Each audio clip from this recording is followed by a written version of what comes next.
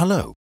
In this clip, we're going to show you how to connect your Sennheiser RS120 to your TV. This video will move along quickly, so you might want to press pause to go step by step.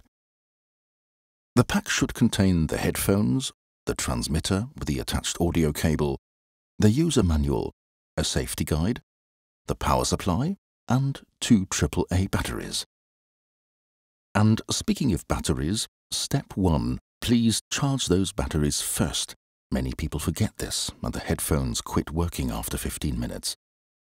Rechargeable batteries are only at about 25% when you unpack them, so please charge for at least 5 hours, or best overnight before you get started. Here's how to insert them.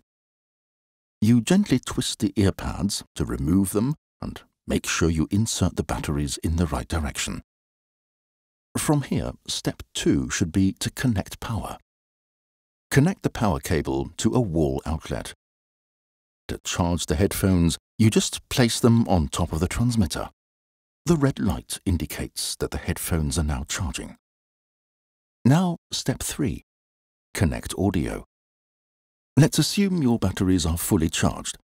In the best case, you will find a headphones output like this. Connect your RS120 here.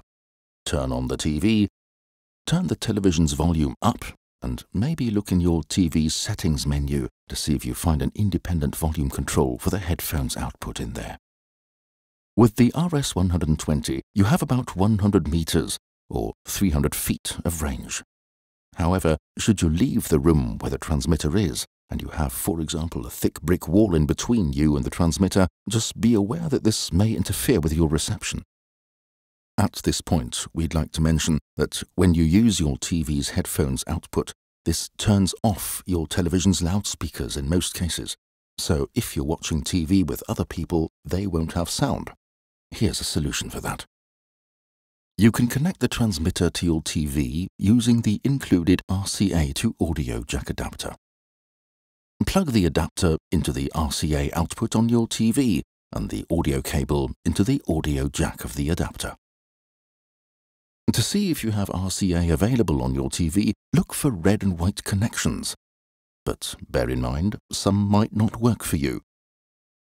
In this picture, you can see it says component in, or here it says audio in, and there is a little symbol, a circle with an arrow going into it.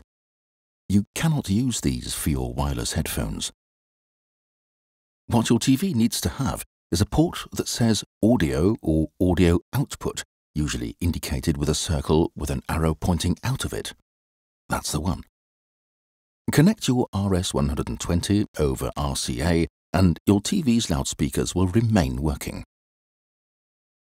Let's assume you've connected sound. You can now turn on the TV and at the transmitter, the green light indicates if an audio signal is present. If it doesn't light up, or turns off shortly after lighting up, that means it's not receiving sound or not enough volume. If you're certain you've connected to the right output at your TV, make sure the TV's volume is also turned up to maybe about 90%. You might have to check your TV's audio settings menu for that. Let's assume you've got sound coming from your TV to your transmitter and the green light is lit. You now need to tune the headphones to the frequency of the transmitter. When you turn the headphones on, you will likely hear static noise. Now you turn the tuning dial until you can hear the TV's sound loud and clear. Done.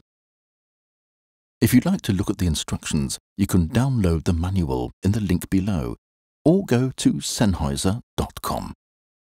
Thank you for watching.